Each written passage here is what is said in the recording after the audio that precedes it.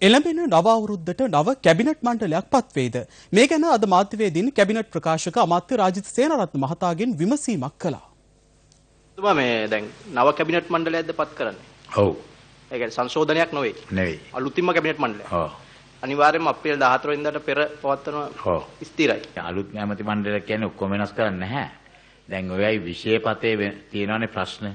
විද්‍යාත්මක නොදැන ඒක විද්‍යාත්මක විදිහට විෂයපතයන් සලසලා බොහෝ ඇමතිවරුන් ඒ ස්ථානවල තියලා තමයි තියෙන්නේ. නමුත් ඒක අලුත් කැබිනට් එකක් විදිහට තමයි දියුණු දෙන්නේ. ආ ඒ කියන්නේ මේ විෂයන් වෙනස් නොවුනත් අලුතෙන් මේගොල්ලෝ නැවත දියුණු දීමක් කරනවා. ජනාධිපතිතුමා මුලින්ම කිව්වේ ඒ කට්ටියක් යනවා. ඒ නිසා ඒ කට්ටියගෙත් හිස්තම් පුරවලා අලුත්ම කැබිනට් එකක් හදමු කියන. ආණ්ඩුවක් හදනවා නම් දැන් හෙට සහ අනිද්දා දවස් දෙක පමණයි තියෙන්නේ.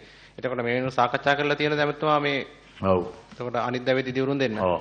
අද අද ශ්‍රී ලංකා නිදහස් පක්ෂයේ තීන්දුව අපිට ලබා දෙනවා. ඒක නායකත්වයක්, එක වැඩපිළිවෙලක්, එක රජයක්. මෙන්න මේ තේමාව යටතේ ඉස්සරහට ක්‍රියාත්මක වෙන්න.